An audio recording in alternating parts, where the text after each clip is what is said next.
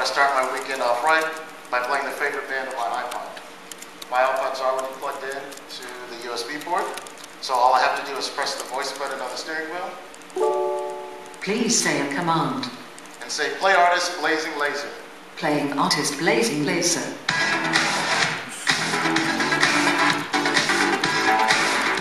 So as you can see, Sync accesses the Gracenote database Heard that tone?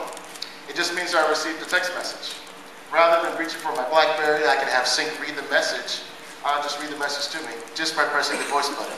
Please say a command. Listen to text message.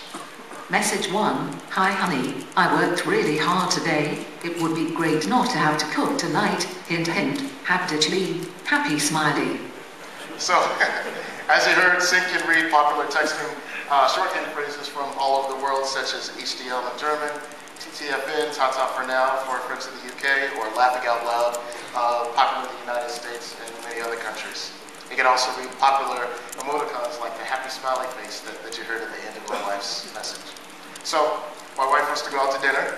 Uh, I could use Sync to respond to her with 15 predefined written text messages, but instead I'll just give her a call. Please say a command. Call Aisha. Calling Aisha at home.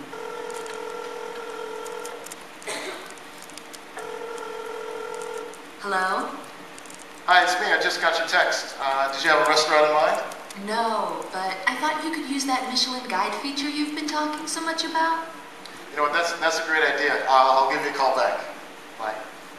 So, um, as Aisha just mentioned, one of Sync's most exciting features is the Michelin Guide. The Michelin Guide has long been a definitive uh, guide for traveling and dining in Europe, and now it will be all available through Sync. Since Aisha and I are new to the Cologne area, uh, we certainly can use some help finding our way around. So all I have to do to access the Michelin Guide is say, find a restaurant, or even I'm hungry. And where would you like to search? Nearby or in a town? Nearby. Say a line number. Four. I can even view restaurant pictures and read a description of the food and the, and the atmosphere when I'm not driving. Then I can easily use Sync's navigation features um, to find my way there.